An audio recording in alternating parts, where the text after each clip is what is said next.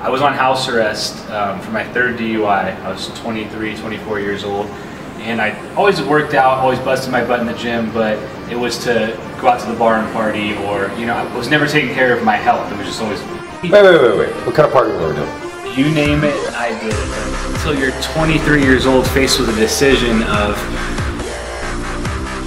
Sir, would you like to do 150 days in jail or do you want to do 300 days on house arrest? I don't care if you're 24, if you're 18, if you're 35, 50, 60, it's never a decision that anybody wants to make. The judge is looking at him saying, You're in trouble. You're in a lot of trouble. You're in way more trouble than the last two times you were in here. Uh, you do not get to make another mistake. Your, your three strikes, you're out, whatever you want to call it. This is a young man who's a good guy who's making some very, very poor decisions. So, as you're scrambling for something else to do with your time besides drink, party, and have fun, how did you choose fitness? I, um, I always played sports growing up. I was always an active kid, um, probably competitive nature. And why don't I channel this energy, all this passion that I have for going out and partying, um, all this drive to find the next party, all the, the, drive to find the hottest girl, all the drive to get the best drugs, you know, um, translate that into something positive. And for me, it was fitness.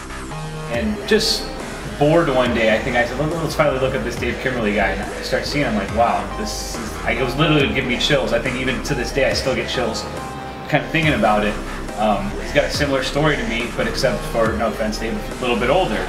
And if he could pull his head out of his ass at 30 years old, why can't I do it at 23, 24? It's not too late, never too late. I don't want to sit here and sound cliche and say, oh, Dave changed my life, Dave, you know, but in all honesty, I didn't think any of this was possible. I didn't think having ripped abs was okay for the regular guy. I thought I'd have to be, you know, shooting up steroids every single day, or you know, it's all Photoshop, it's this and that. When in reality, it's it's there. You just have to make the right decisions, and you can you can you can be that guy. I mean, you can literally start from nothing and build something.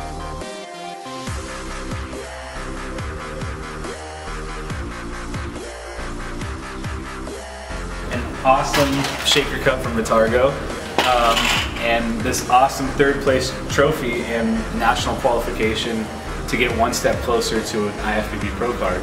This, looking at this trophy. Show them again, show them again. Looking at this trophy, uh, no matter how many times I could look at it, it says third place on here. I know that I earned it.